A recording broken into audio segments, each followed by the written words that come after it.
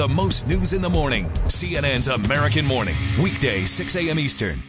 Things are getting very tense at airline security checkpoints across the country, and that uh, would be an understatement. Boy, are they ever.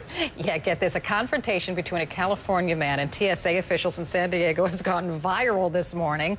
31-year-old software engineer John Tyner was going on a hunting trip with his father-in-law on Saturday. He refused that full body scan, and then he turned his cell phone video camera on, recording this exchange with security agents. How about over here? All right. Do you have anything in your pockets? I don't think so. They had me take it all out. No belt, no nothing. Nope, no belt, no nothing.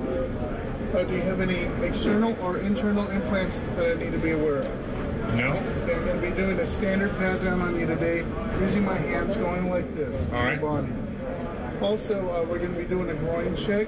That means I'm going to place my hand on your hip, the other hand on your inner thigh, slowly go up and slide down. Okay. I'm going to do that two times in the front and two times in the back. All right. And if you'd like a private screening, we can make that available for you also. We can do that out here, but if you touch my junk, I'm going to have you arrested.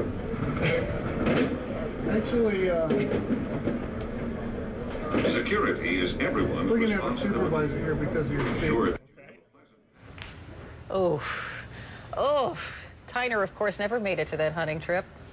TSA agents didn't really like his response. Supervisors were called in, and uh, he's now facing a $10,000 fine and a possible civil suit. I, I understand his pain, but you got to remember the underwear bomber.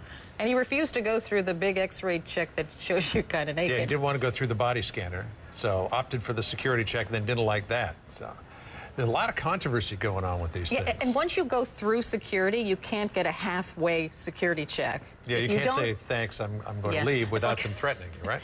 Without them threatening you, you're not getting on that plane. Unless they do the whole security check, you're not getting on. So he couldn't go halfway through. So he was out of there.